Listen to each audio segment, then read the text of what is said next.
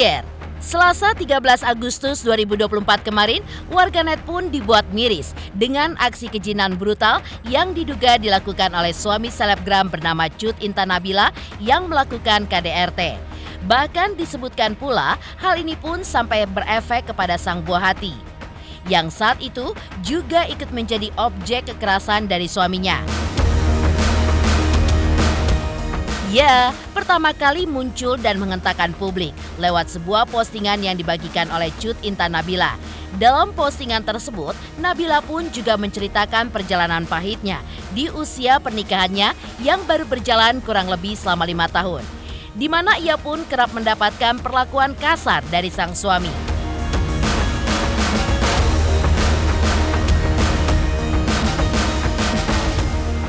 Lantas, seperti apa kejadian yang dialami oleh Cut Intan Nabila? Benarkah pula ayah Cut Intan Nabila mengutuk keras perlakuan yang dilakukan Armor Teoreador, suami korban, dan berharap pelaku pun dihukum sesuai perlakuan keji yang sudah dilakukannya? Pemirsa, bersama Intens Investigasi, kami hadirkan kabar terkini terpercaya, dan teraktual. Tetapi sebelumnya, jangan lupa untuk like, subscribe, dan juga share channel YouTube ini.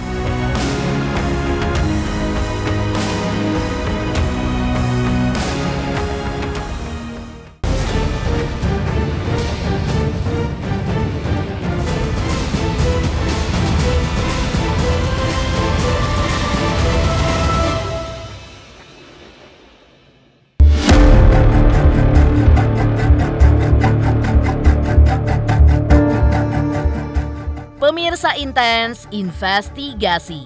Apa jadinya jika seorang suami yang seharusnya memberikan cinta dan juga kenyamanan hidup untuk wanita yang telah dipersuntingnya malah melakukan perbuatan keji, tidak bermoral, dan yang jauh dari kata manusiawi? Seperti yang baru-baru ini viral di sosial media dan diduga diterima oleh salah satu selebgram asal Aceh, Cut Intan Nabila.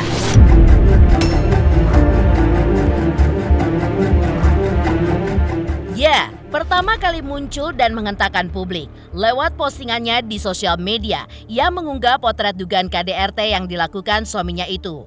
Di dalam postingan tersebut, sang selebgram pun juga menceritakan jika selama lima tahun usia pernikahannya, bukan kali ini saja sang suami yang bernama Armor Toreador melakukan perbuatan keji itu yang bahkan disebutkan pula berefek kepada buah hatinya yang saat itu masih sangat-sangat kecil.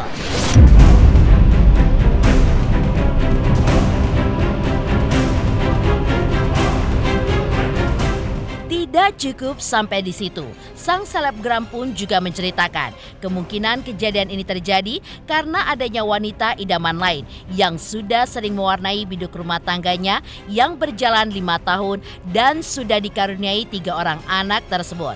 Sebagai seorang istri, ia pun juga menutupi aib sang suami. Nabila pun diam selama kurang lebih lima tahun hingga akhirnya ia pun tidak bisa lagi menahan semuanya, lalu mengungkapkannya ke hadapan publik.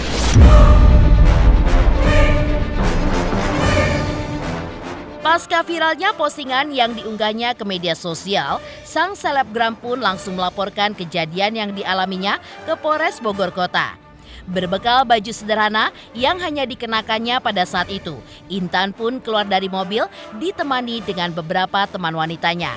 Terlihat pula beberapa keluarga terdekat menemaninya, termasuk di antaranya anak dari almarhum Dai Kondang Ustadz Arifin Ilham, yaitu Alvin Faiz dan juga sang istri. Seusai melakukan pelaporan, tak banyak kata yang terucap dari sang selebgram asal Aceh tersebut. Ia pun menuturkan tidak menyangka dengan pria yang sama ini dikenal baik menurut penglihatannya bisa melakukan perbuatan keji tersebut. Ia pun mengutuk kejadian ini dan berharap pihak kepolisian bisa memberikan hukuman yang layak bagi pelaku kekerasan terhadap anaknya.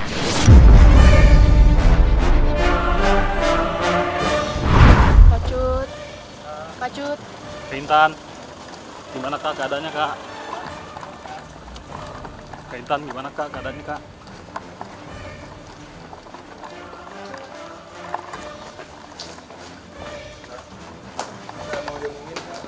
Rintan, gimana Kak?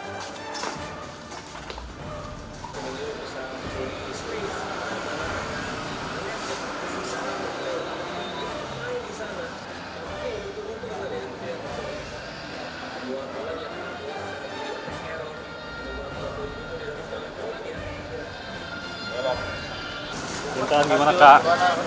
Intan, sebentar kak. Kak, gimana kak? Kamu sampai kak kak? Ada yang ngapain kak Intan? Sebentar ya. Sampai ya kak. Doanya aja ke Intan. Ada yang mau masuk lagi nggak? Kasih jalan. Ini satu lagi. Doanya aja ke Intan. Iya iya iya. Kasih jalan.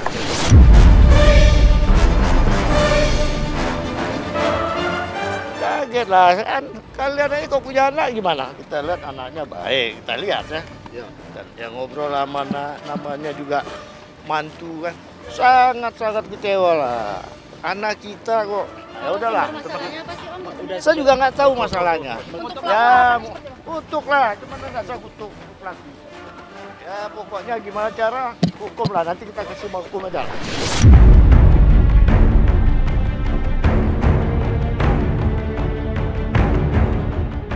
Kabarnya, sebelum melayangkan laporan dugaan KDRT yang diterimanya, sore harinya Nabila pun lebih dulu melakukan visum. Didampingi oleh kerabat dan keluarga besarnya di salah satu klinik yang berlokasi di Cikea, Sukaraja, Kabupaten Bogor, Jawa Barat. Visum pun dilakukan guna melengkapi kelengkapan pelaporan yang dilayangkannya untuk sang suami. Namun kabarnya mengetahui pelaporan yang akan dilayangkan oleh sang istri, Armor Toreador, ingin lari dari kejaran pihak kepolisian. Hal ini pun terungkap setelah salah satu rekannya membagikan pesan singkatnya dengan terduga pelaku yang pada keterangannya menyebutkan jika ia ingin lari ke Surabaya. Tak mau ikut terseret dengan kehebohan ini, ia pun menginformasikan temuannya terkait hal ini dan dibagikannya ke publik lewat sosial media. Lantas, seperti apa pula respon beberapa selebriti yang dimintai komentarnya terkait kejadian ini? Benarkah para selebriti mengutuk keras perlakuan suami yang dengan sadar melakukan tindakan KDRT kepada istrinya sendiri?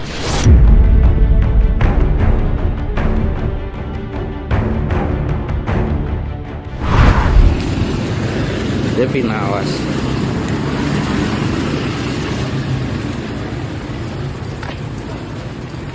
Aku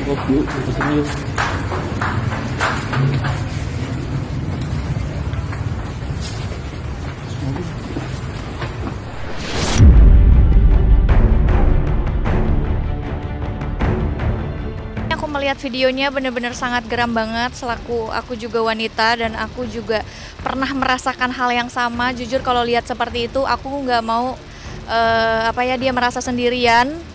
Eh, aku juga akhirnya menghubungi teman-teman.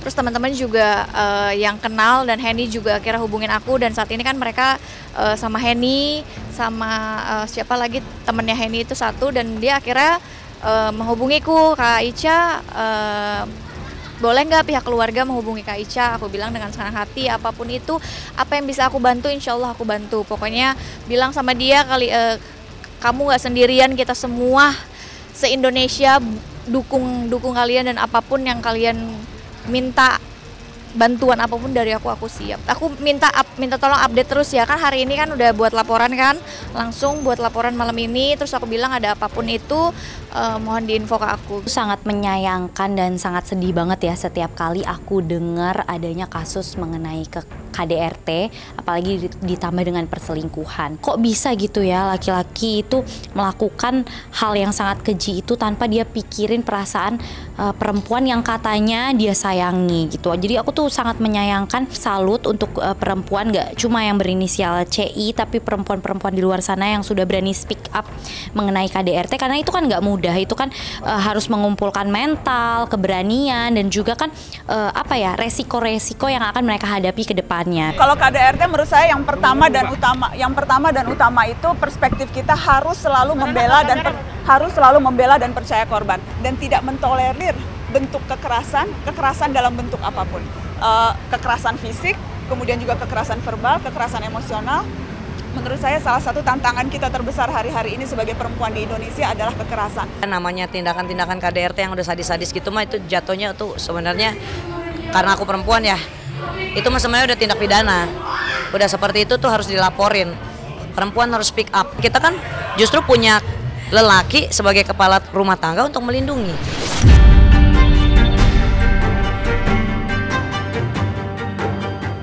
Setelah pelaporan tersebut, pihak kepolisian pun langsung bergerak cepat mengamankan pelaku yang kabarnya sedang berada di sebuah kamar hotel di kawasan Kemang, Jakarta Selatan pada malam itu.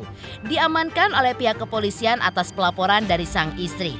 Armor Toreador, suami Intan Nabila dalam sebuah video terlihat menggunakan baju putih dengan celana panjang dan cukup terlihat tenang, terutama saat ditanya oleh sejumlah polisi berpakaian preman yang datang untuk menjemputnya. Dalam video yang beredar di sosial media, Armor juga menutupi bagian kepalanya dengan sweater saat akan digelandang menuju ke Polres Bogor Kota untuk dimintai keterangan terkait dugaan KDRT yang diduga dilakukannya. Tak ada satupun kata yang terucap dari mulut pria yang disebutkan sudah berbuat kasar kepada sang istri yang menurut sang selebgram sudah sering dilakukannya sejak kurang lebih lima tahun usia pernikahannya tersebut. Meski diberondong pertanyaan dari awak media, Armor pun hanya diam dan pandangannya pun lurus ke depan. Lantas, seperti apakah pihak kepolisian merilis Armor sebagai tersangka atas perbuatan kekerasan yang diduga dilakukannya terhadap sang istri Cut Intan Nabila? Uh, saya ingin kooperatif, ya, tapi tidak, saya tidak perlu ngobrol-ngobrol semuanya. Ya udah bawa barang-barangnya. Gimana bang? Ada tanggapannya bang? Bang, wah ditahan nih bang. Kok nggak berani ngomong sih? Ya, Kok beraninya sama cewek?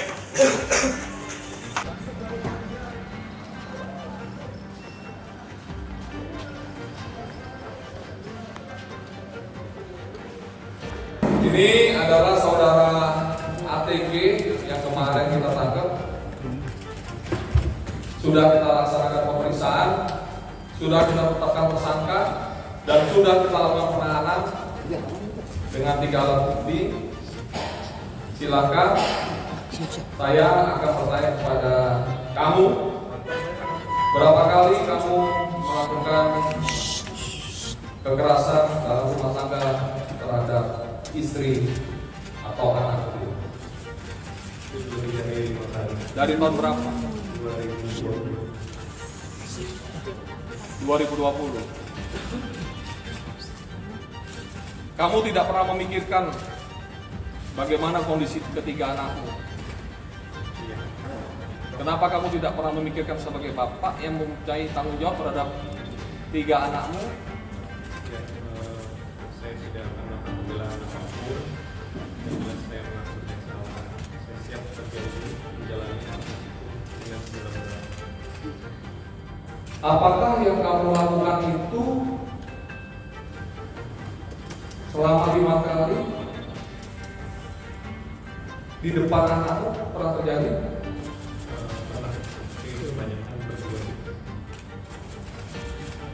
Apakah tetanggamu atau orang tuamu tahu bahwa kamu sedang ribut melakukan penganiayaan terhadap istrimu? Oke, sekarang kamu harus terima konsekuensi apa yang telah kamu lakukan. Saya akan berjuang untuk membuat terang benderang kasus permasalahan ini dan saya akan menggandeng juga KPAI sekarang sudah ada Kementerian PM, PPA dan Kementerian PMK untuk menyelamatkan psikologi istri dan anak-anakmu. Kalau kamu tidak mau bertanggung jawab terhadap anak-anakmu, maka beliau-beliaulah bersama saya akan bersama-sama membesarkan anak-anak. Nah, kamu kemarin kenapa kamu golkar? Iya, memang kan saya ada sedikit kerja beberapa di Jakarta. Masih mikirin kerjaan gitu. Cuman karena memang kondisinya saya tahu sekarang, saya memutuskan pergi ke. Kamu mau kabur ke Surabaya? Eh, Tidak, Ya. di Jakarta saja.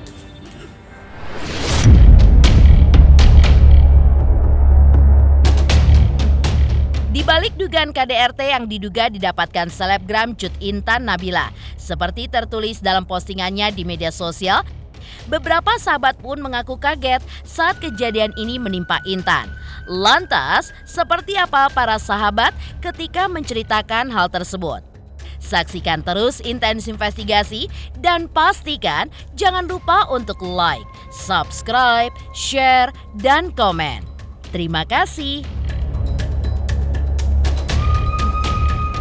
Selamat untuk intens investigasi. 3 juta subscriber. Luar biasa sekali 3 juta.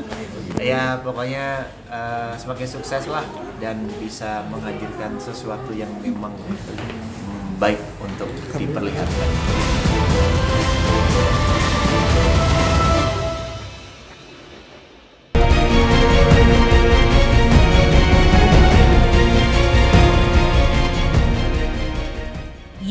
seperti terlihat dari beberapa penampilannya di sosial media, selebgram Cut Intan Nabila memang terlihat sebagai seorang wanita yang cantik, mengenakan hijab dan dikenal sebagai wanita yang cukup menjaga aib dan apa pun yang terjadi dalam biduk rumah tangga yang telah dibangun bersama sang suami. Tak heran, dalam postingannya di media sosial, Nabila pun menuliskan bahwa ia hanya bisa diam dan menanggung derita yang selama ini harus ditanggungnya sendiri selama kurang lebih lima tahun usia pernikahannya. Sebelum akhirnya sudah tidak bisa lagi menahan semuanya dan mengungkapkannya ke hadapan publik. Maka dari itu, beberapa temannya pun mengaku terkejut saat pertama kali mendengar kejadian tersebut dan menyebutkan apa yang dilakukan Armor sebagai perbuatan biadab karena melakukan kekerasan kepada istrinya sendiri yang seharusnya diperlakukan baik tidak seperti apa yang diduga dilakukannya.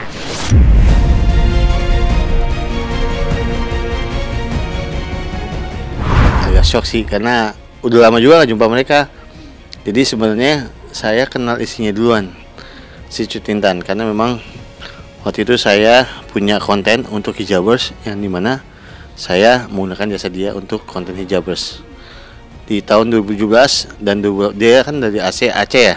Karena dia selebgram Aceh terus uh, ketemunya lagi pas tahu dia nikah sama anak Bogor nih. Ini temennya Alvin soalnya. Ya Almar ini. Terus saya kenal uh, 2018 saya tanya uh, lagi itu ada masalah soal Instagramnya kalau salah. Dia minta tolong buat tutup permanen. Terus saya bilang ini kayak namanya nggak saya kenal nih nggak asing gitu kan. Ya udah saya bilang oh iya benar. Akhirnya ketemulah bareng. Di sebuah acara saya lupa karena udah lama banget ya 2018 dah. Tadi pagi agak shock. Ternyata ada sebuah masalah besar ya kalau saya anggap. Dan itu ternyata viral ya. Dan saya kalau menanggapi sebagai suami agak biadab ya menurut saya hal yang dilakukan karena gini itu seorang wanita masa kita sakiti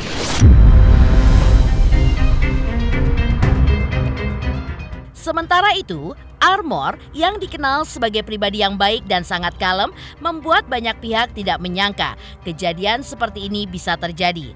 Lantas, adakah sebagai teman mereka pun juga berharap jika hukuman yang pas bagi terduga pelaku?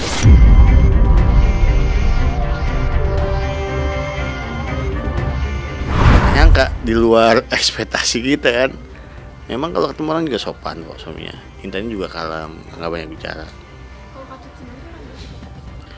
Dia juga murah senyum dan dia juga kalem gitu. Tapi ceria juga dia. Tapi yang saya bingung ini kok dia kuat banget ya? Menahan ini semua dan sendiri lingkungan influencer ya teman-teman kayak Alvin Henny. Dia dekatnya sama Alvin sama Henny. Sayang ya uh, dalam Islam itu hukuman laki-laki yang sudah punya istri berselingkuh itu aja dirajam sampai mati. Nggak ada nggak ada ampun. Apalagi setelah selingkuh dimaafin malah mukulin.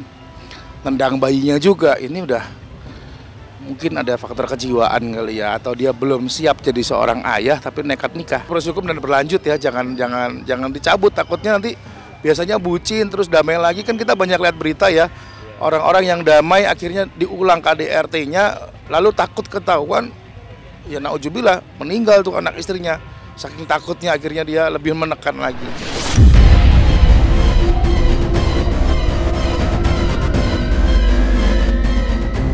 Sementara itu, di balik dugaan KDRT dan proses hukum yang akan menanti Armor, kini terungkap informasi baru yang diduga sering dilakukan Armor. Lantas, apakah informasi tersebut? Benarkah Armor pun sering meminjam uang dengan nominal yang cukup fantastis? Halo, saya Cika Bode. Selamat untuk intens investigasi dengan subscribernya 3 juta. Wow, keren banget. Semoga info-infonya bermanfaat buat teman-teman semuanya. Selamat!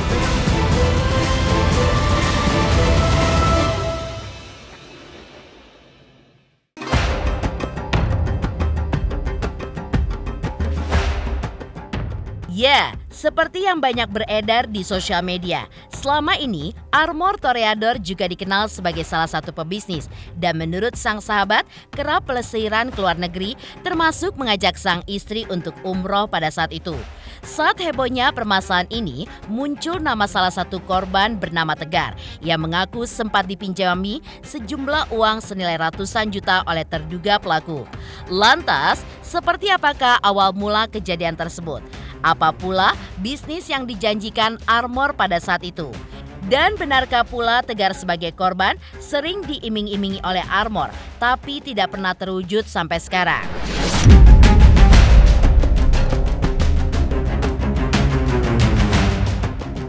Karena kan aku baru kenal tuh tahun 2021 mungkin ya kalau nggak salah. Lebih lama Bang Adit. Dia lebih kenal lebih lama. Yang aku tahu dia cuma pebisnis, punya bisnis. Udah itu doang. Tiap kali komunikasi bahasa cuma ya ya kerjaan aja udah bisnis gitu, gitu doang. Itu udah lama itu sekitar udah setahun. Bulan Oktober. Oktober tuh udah mulai macet. Pembayaran segala macam aku nggak tahu ada apa yang jelas itu yang tahu cuma dia doang itu aku pokoknya nagih pun baik-baik segala macam karena aku nggak mau ada masalah kan tapi ya ternyata di balik itu semua pas pulang umroh ternyata malah dia kayak gitu kok kaget juga gitu. Karena kan nggak mau pakai kekerasan kita lagi baik-baik harus sabar gitu. Ayahku tuh ngajarin kayak gitu nggak boleh nggak boleh kasar lah sama orang. Aku dua kali datang ke dia. Dua kali pertama sama ayah kedua sama ayah sama mama. Yang pertama aku lupa bulan apa tapi yang terakhir 13 Juli itu ada istrinya juga ketemu anak-anak yang pertama nggak ketemu cuma dianya doang. Ya yang aku tahu cuma itu doang karena aku nggak deket. Tapi ya tau lah dia pebisnis aku nggak tahu bisnisnya apa aja. Dan aku ikut masuk di situ. Dan aku nggak tahu uangku dipakai buat apa. Itu dia yang tahu. Jadi ya itu masih berjalan aku nggak tahu. Dia selalu kooperatif kok tapi nggak tahu sama yang lain. Aku pun nggak tahu dia punya utang sama lain apa enggak. Itu cuma sama aku. Karena ya mungkin dia ngeliatnya aku juga ya aku aku aku nggak maksa juga kan. Yang penting ya cicil aja lah bayar bayar bayar bayar. Yang penting tanggung jawab gitu loh. Laki kan kalau laki harus tanggung jawab lah bayar. Ya ratusan lah. Ya of course namanya bisnis kan diiming-imingin ya sayanya aja bodoh gitu. Tapi lebih jahatnya dia nggak transparan gitu aja nggak transparan baru-baru dibuka tuh kayak di akhir-akhir. Kalau saya rugi nggak masalah yang penting jujur di awal bukan ditutup-tutupin. Dijelasin pakainya apa duitnya bla bla bla. Jangan ditutupin gitu aja. Sekarang belum sih belum ada. Kalau perkebunan itu nggak ada. Cuma mungkin ada beberapa temen juga yang aku ngobrol ternyata mengalami hal yang sama. Turut berempati sama istrinya. Karena sebelum kejadian itu saya laksana 13 Juli ketemu sama ayah mama saya masih baik-baik adiknya datang semua keluar mereka senyum. Ternyata mungkin di situ istrinya udah menahan banyak rasa sakit yang itu nggak bisa semua orang kuat sih. Ya sabar-sabar ya semoga cepat selesai.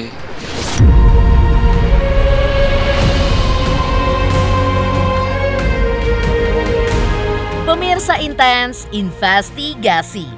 Jangan lupa saksikan terus Intens Investigasi dan pastikan jangan lupa untuk like, subscribe, share, dan komen. Tim redaksi Intens Investigasi juga mengucapkan banyak terima kasih kepada semua subscribers hingga kanal Intens Investigasi kini sudah mencapai usia lima tahun.